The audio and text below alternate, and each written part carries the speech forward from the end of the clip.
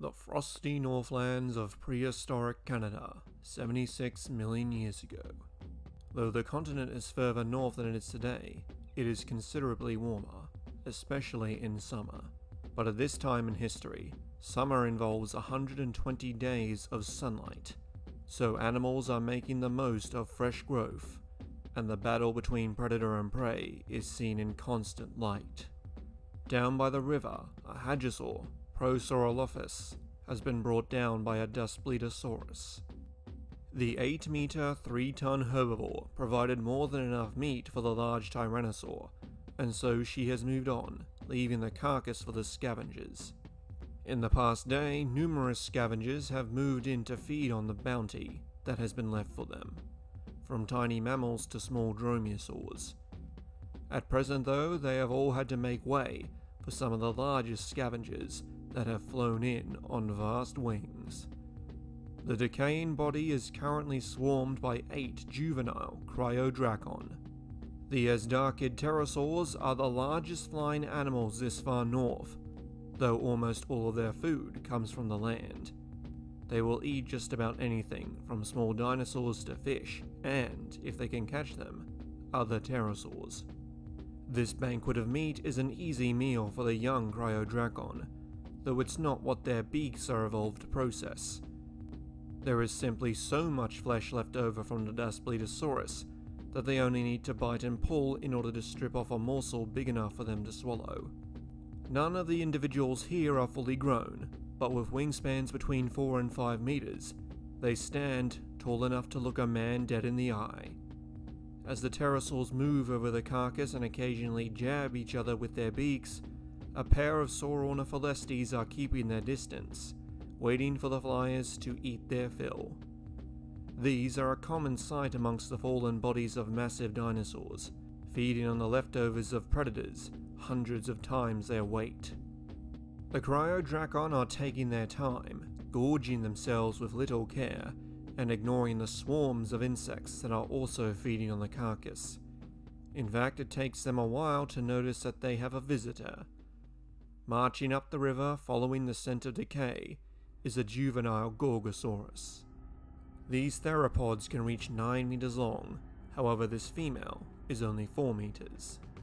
Gorgosaurus, like other tyrannosaurs, go through a massive stage of growth in their teenage years, but she is yet to have reached that stage of her life, and still has the lean, speedy build of an adolescent. Normally they travel in groups, but she has broken away from her pack the smell of fresh meat too much of a lure. Approaching the carcass, she can see the eight cryodrakons squabbling amongst themselves, and yet none of them have noticed her approach. And so she lets them know she is coming. She breathes in, and lets out a menacing snarl that carries up the river, and all eyes, be they dinosaur or pterosaur, turn to look at her. The cryodrakon freeze briefly, judging whether or not she is a threat. The Gorgosaurus snarls again as she approaches, lifting her head up higher to seem larger. Three of the Cryodrakon take to the wing, flying away from any confrontation. The rest begin screeching and barking at her, trying to intimidate her back. The Gorgosaurus continues her steady walk and gets closer to the pterosaurs, so she begins growling lowly. Two more of the Cryodrakon back up, but one takes two steps forward and stands directly between her and the hadrosaur body. He then rears up onto his back legs and spreads his wings out to make himself look as large as possible, all the while barking at the Tyrannosaur with the rest of his kind. The Gorgosaurus shrinks slightly, but draws on her courage and snarls again. The Cryodrakon she is facing does something similar to what modern vultures do when under threat. It opens its mouth and projectile vomits. The female is right in front of the Azhdarchid and has no time to react. The mixture of half-digested flesh and bile splatters across the left side of her head and down her neck. The concoction stung her eye, and she reeled back in shock, hissing and flailing, trying to shake the vomit off of herself.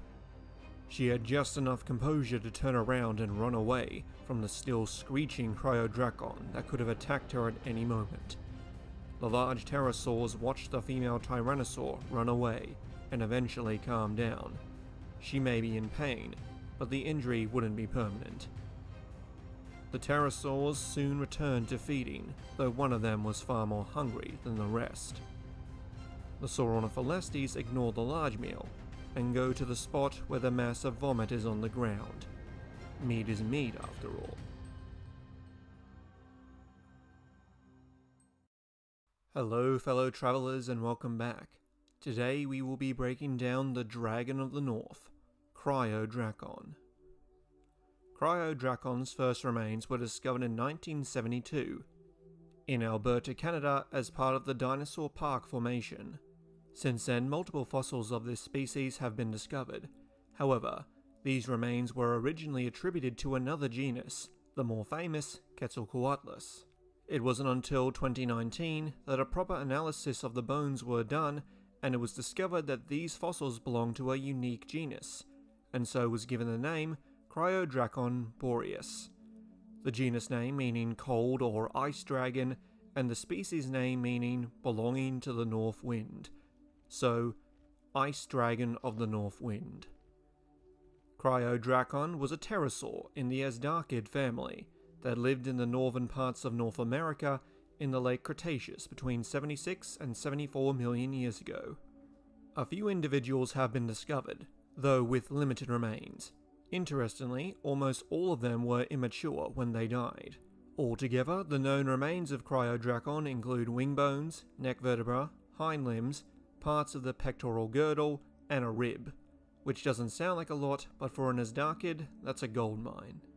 The smallest individual was a juvenile known from a neck vertebra 10mm long, and so may have had a wingspan of 2 meters.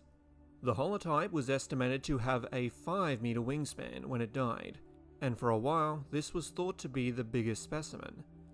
But then they reassigned a neck vertebra that was 50 centimeters in length, meaning that this individual could have had a wingspan 10 meters across. That puts Cryodrakon close to some of the largest Azhdarchids, including Quetzalcoatlus and Arambourgiania, currently being in the top 5 largest flying animals ever to have existed. It may not quite have reached the size of its southern cousin, but its thicker, more sturdier bones may mean it was similar in weight, or even heavier. So how did Cryodrakon fit into its environment?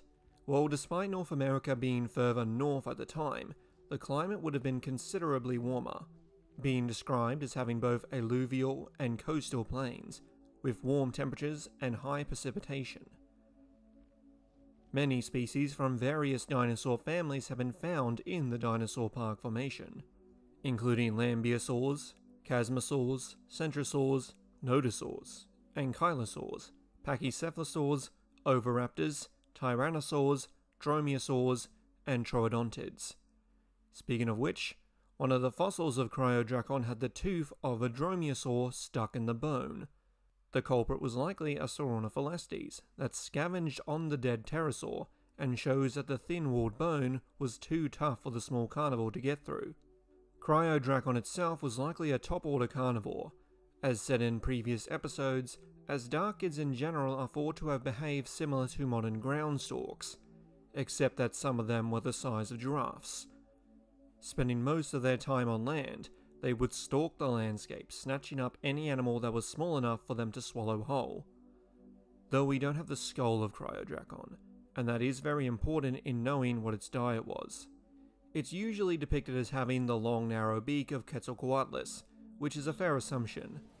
But not all members of this family had such beaks, including Wellhoppertornis from Texas, which had shorter, thicker jaws which may have been better suited for feeding on carrion. It's difficult to say with accuracy how these giants lived, but it's likely that since they were so large, they went after multiple food sources. Perhaps they would fly down into herds of hadrosaurs, scaring them with their size, and in the commotion grabbing the young from between the adults.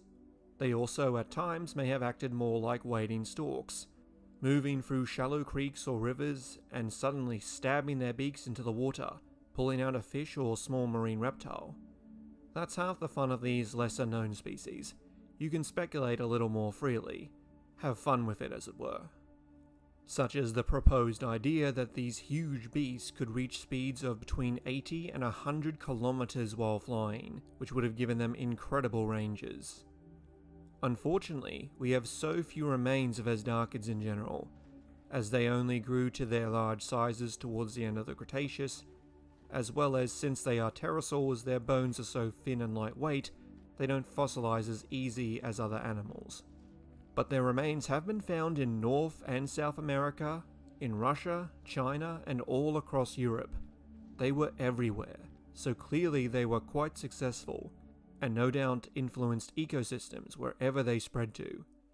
If you ever want to debate what the closest thing to a real dragon is, these should be top of your list. But what do you think of Cryodrakon? And for my question of the week, which of the two skull examples I provided do you think Cryodrakon had? What lesser known pterosaur would you like me to do a breakdown on next? And until then, please like, share, subscribe, and thank you for watching.